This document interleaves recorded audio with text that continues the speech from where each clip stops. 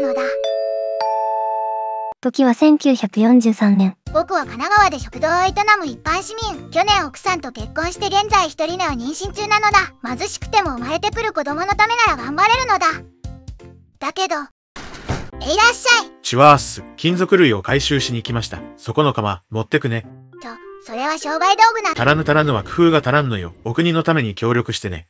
はいなのだ。1943年、太平洋戦争において戦局の激化と深刻な物資不足を補うため、8月12日に金属類回収令が施行された。ズンナモンたちから回収された金属は、手榴弾などの武器に代わり戦場に送られた。ちなみに渋谷のシンボルであるハチ構造も回収され武器に変わった。なので現在の渋谷ハチ構造は2代目である。ということで絶賛ニート中なのだ。新聞でも読むのだ。なになに、ガダルカナル島有島の奮闘。連邦によればガ島には日本軍将部隊が未だに活躍している。なるほど、日本の勝利も近いな。客か。すんません。うちの食堂釜回収されちゃって毎日定休日なんすよ。おめでとうございます。招集令状です。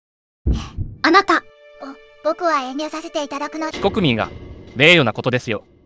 ありがとうございますのだ。お国のために一生懸命奉公してまいりますのだ。武運長久をお祈り申し上げます。太平洋戦争末期、硫黄で戦った日本軍兵士は経験豊富な職業軍人も存在していたが、ほとんどがズンダモンのような徴兵された兵ばかりで、さらに平均年齢も高く、いわば寄せ集めの集団に近かった。ということで徴兵された僕は、妖刀の守備隊に配属されたのだ。てか暑いし臭いし食物育たないしなんでこの島を守る必要があんの。ここは絶対国防圏として定められた小笠原諸島に含まれていて、その中で唯一飛行場を建設できる平地があるんだ。そのため戦略的重要性が極めて高い。ちなみに南部にある標高 169m のすり鉢山がこの島の最高点だ。お前よく知ってんな。硫黄島は日本の首都東京の南約 1080km、グアムの北約 1130km に位置し、小笠原諸島の小笠原村に属する火山島である。島の表面の大部分が硫黄の蓄積物で覆われているところから、この透明が付けられた。土壌は火山灰のため保水性はなく、飲料水等は塩辛い井戸水か雨水に頼るしかなかった。当時は硫黄の採掘やサトウキビ栽培などを営む住民が約1000人居住していた。その頃大本営では、パラオやマリアナの戦況が悪化している。小笠原にも作戦の権限を与えるために、他の小笠原方面部隊と合わせて第109師団を編成する。師団長には栗林忠道陸軍中将を任命する。承知しました。帝国と陸軍は、この重要な島の防衛に関して、機関に全面的な信頼をかけている。5月27日、進歩式に臨んだ栗林は東条秀樹からこのような言葉をかけられている。第109師団長として小笠原諸島全体の最高司令官となった栗林は6月8日、日本本土から直接硫黄島に向かった。閣下、お待ちしておりましたのだ。てかなんで妖刀へ。小笠原諸島の司令官なら司令部機能が充実して安全な父島要塞で指揮を取った方がいいんじゃないの？アメリカ軍は飛行場のあるこの島に上陸してくる可能性が極めて高いでしょう。この島が陥落すれば小笠原諸島が突破されたも同然です。それに、指揮官は常に戦場の焦点にあるべきなのですよ。栗林はそのまま戦死するまで一度も硫黄島を出ることはなかった。ここに水際陣地を構築し上陸してきた米兵を叩く。ここでお前たちは戦うんだ。てかこの砂浜全然塹壕を掘れないんだけど、いくら穴掘っても砂が崩れてくるよ。日本軍は対上陸部隊への戦術として、上陸部隊の弱点である海上もしくは水際付近にいる時に戦力を集中して叩くという水際配置、水際撃滅主義を採用していた。硫黄島においても、栗林が着任前には従来の水際撃滅主義による陣地構築が行われていた。これは何をしているのですか？塹壕を掘って水際陣地を構築していますのだ。僕たちはここで戦うのです。水際陣地の構築は中止しましょう。本気ですか閣下？大きく作戦を変更します。すり鉢山と北部本山地区、東山にかけて洞窟を掘り地下要塞を構築します。アメリカ上陸部隊を引き込んで地下から徹底抗戦します。栗林は6月8日に硫黄島に着任するとくまなく島内を見て回り、硫黄島の地形的特質を緻密に検討して、従来の水際撃滅主義を捨て、主陣地を水際から後退させて縦負荷陣地を構築する攻撃持久療養作戦に方針転換した。しかし、この栗林の方針転換に対しては、従来の水際撃滅主義にこだわる海軍や一部の陸軍幕僚から反対意見が出た。水際の塹壕は第一の防衛線です。海岸線の陣地なしでは勝てる戦も勝てません。特に第109師団の参謀長、堀大佐は、陸軍士官学校の教官をしていたこともあり、80年にもわたって日本軍が研究してきた水際撃滅主義に固執し、混成第二旅団長の大須賀も海軍や堀の意見に賛同した。ありゃ厄介もんだな。洞窟を掘るなど時間の無駄だ。栗林兵団長は参謀本部で机に向かっているのがお似合いだ。陣地を交代させるなどアメリカにビビった腰抜けだ。意見が食い違う士官に対し栗林は復官に対しぶやいていた。士官はバカ者か。コリゴリのやつばかりだ。これではアメリカと戦はできない。アメリカは世界の大国だ。工業力は日本と比べ物にならない。奴らは確実に海南線を突破してくる。そこで兵を無駄に失ってはいかんのだよ。アメリカの戦力を決して過小評価してはならない。栗林は顔面な海軍と一部の陸軍士官に対して失望していた。そして8月中旬の陸海軍による協議において、予定通り地下陣地の構築を進めるが、一部の水際、飛行場陣地構築を認めましょう。栗林は水際撃滅主義にこだわる海軍に一部妥協した。この妥協によって栗林の作戦計画が不徹底となったという指摘もあるが、水際陣地は敵の艦砲射撃を吸引する偽陣地的に使用できるなどと栗林が計算した上での妥協であったとの証言もある。さらに、大菅君、君には混成第二旅団長を降りてもらいます。お言葉ですが閣下、洞窟掘りなど無意味です。海軍には妥協した栗林であったが、軍司令官に公然と反論した堀谷大菅に対しては、軍内の統制を保つためにも感化することなく更迭した。12月には大菅を更迭し、代わりに陸軍士官学校同期で、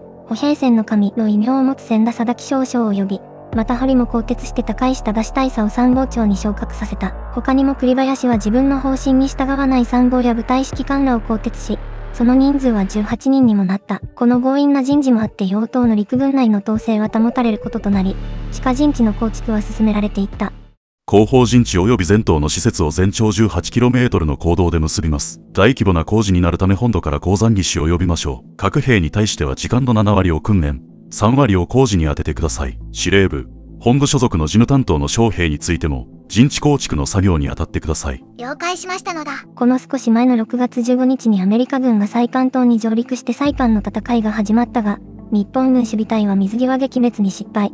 アメリカ軍が内陸に向けて進撃していた。このサイパン島の敗戦は日本軍に大きな衝撃を与えて、後の当初防衛の方針を大きく変更させた。1944年8月19日に参謀総長名で自宅された当初守備要領では、従来の水際撃滅主義ではなく、海岸線から後退した用地に陣地を構築し、上陸軍を引き込んでから叩くという交代配備、沿岸撃滅主義へと大きく変更された。栗林の後方陣地は、最関東の陥落によって方針転換した大本営に先んじるものであった。あちあち、この作業果てしないのだ。ちょっとサボろう。は、お疲れ様であります。見回りでありますか。頑張っていますね。そのまま作業を継続してください。栗林自らが島内各地を巡視し、2万1000名全員と顔を合わせ将兵のモチベーション維持や軍機の厳正化にも邁進した。また工事の遅れをなくすため上官順指示でも作業中は一切の敬礼を止めるようにするなど指示は合理性を徹底していた。しかして作業による地下工事は困難の連続だな。激しい肉体労働に加え、ここは火山島で30度から50度の自熱にさらされるから連続した作業は5分間しか続けられない。くそ。俺たち結局ここで死ぬのにこんなのやってられるか。待て。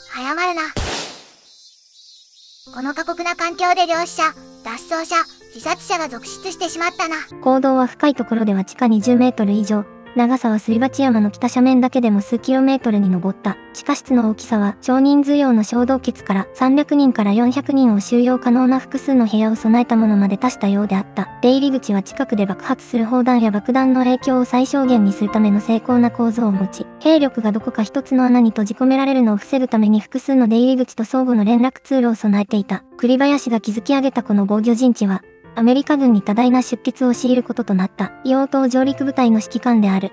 第56任務部隊の司令官ホーランド・スミス海兵中将はこう語る。栗林の地上配備は私が第一次世界大戦中にフランスで見たいかなる配備よりはるかに優れていた。また、第二次世界大戦におけるドイツ国防軍の配備をもしのいでいた。サイパン陥落に伴い、前線となる硫黄島に日本軍は増援部隊を送った。池田大佐の指揮する歩兵第145連隊2700人が到着。海軍でも、第204建設大隊戦233名と警備隊243名が到着。8月10日には一丸里之助海軍少将が硫黄島に着任。続いて飛行部隊及び地上勤務者2216名が到着。さらに、閣下、ただいま到着しました。おう。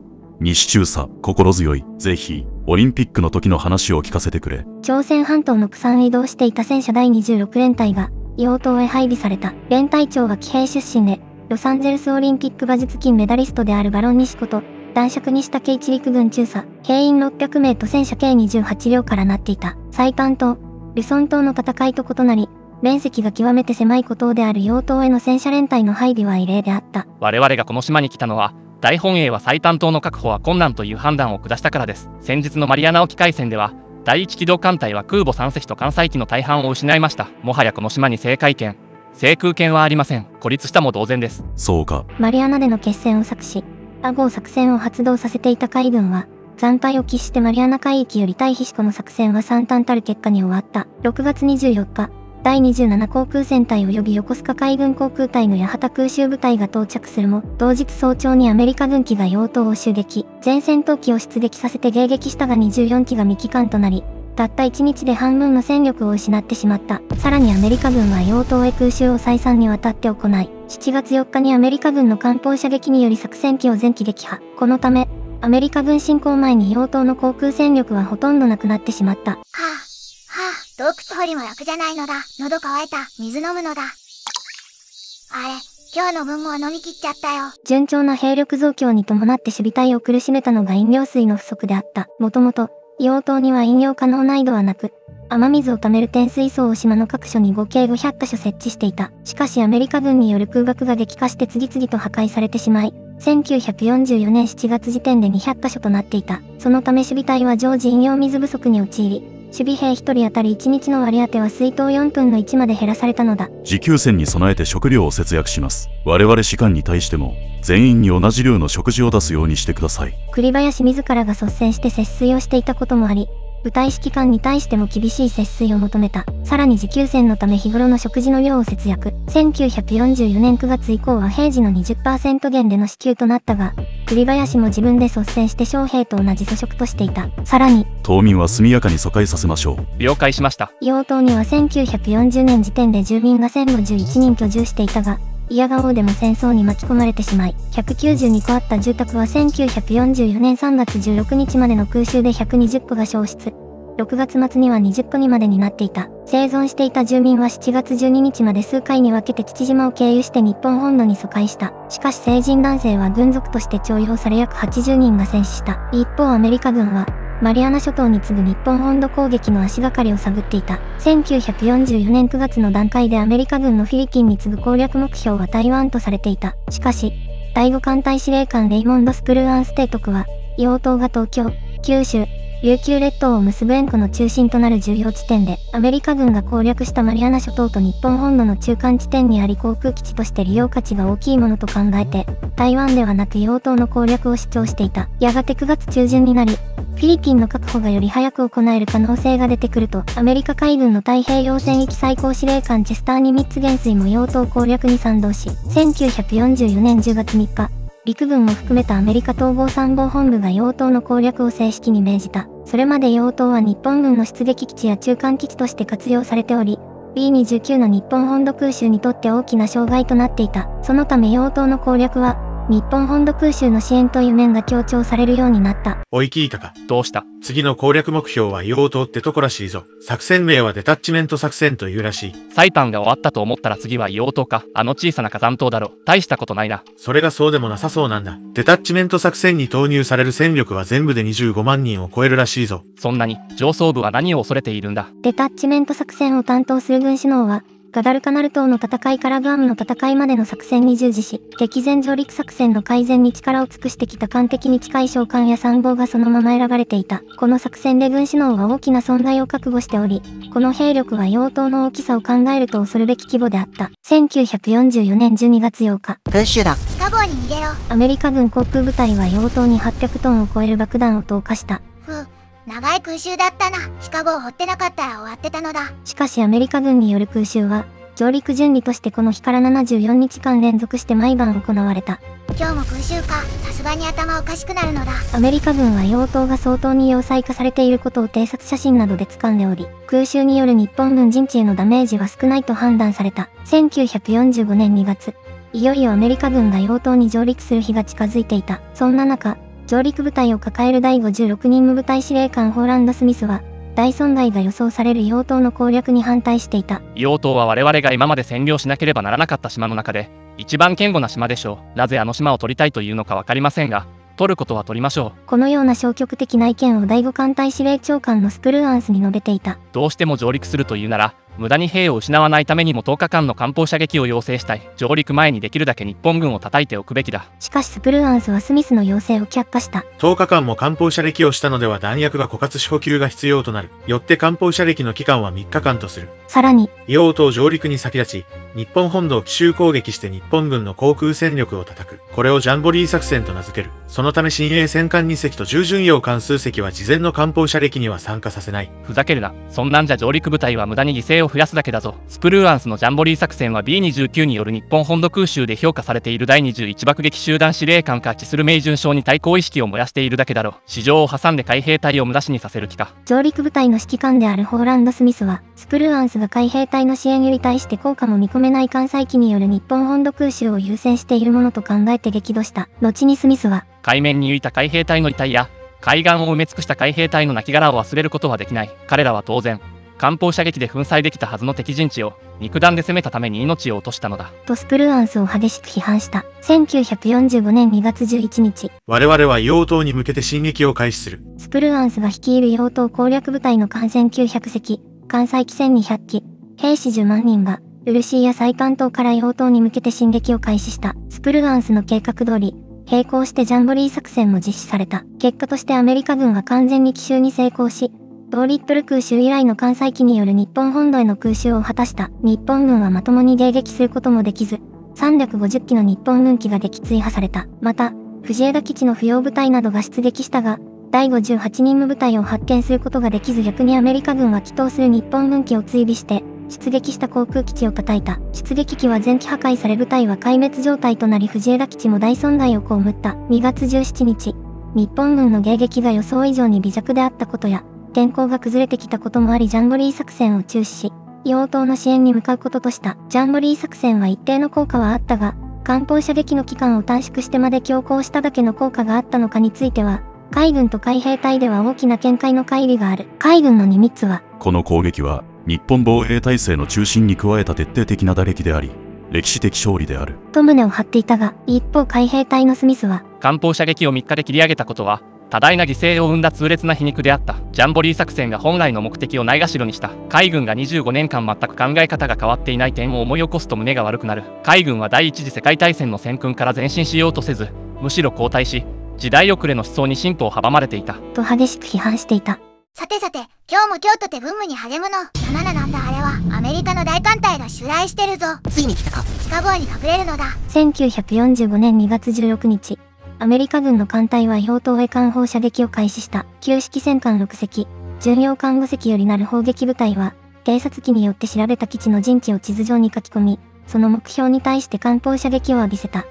いよいよアメリカ軍が上陸してきます。硫黄島は我が大日本帝国における最重要拠点です。この島が敵の手に渡ればここを拠点に本土に爆撃を行うでしょう。祖国のため最後の一兵になろうともこの島を守り抜くことが我々の責務です。アメリカ軍との戦いに備え以下の作戦方針を徹底してくださいいよいよか。アメリカ軍は上陸前に艦砲射撃を行うでしょう。しかし、アメリカ軍に下方の位置が露見することを防ぐためにこの艦の発砲を禁止します。アメリカの艦艇に対しても砲撃は行いません。了解。なのだ。上陸された際、水際では抵抗を行いません。敵上陸部隊が海南線を埋め尽くしたら隠れる場所のない敵に対して、下砲、ロケット砲を集中させて殲滅します。はいなのだ。それと、万歳突撃は厳禁とします。一人につき10人の敵を倒すまで死ぬことを禁止します。玉砕することも許しません。最後の一人になっても戦い続けてください。我々の子供が日本で一日でも長く安泰に暮らせるなら、我々がこの島を守る一日には意味があるんです。1945年1月に発令された最終作戦は、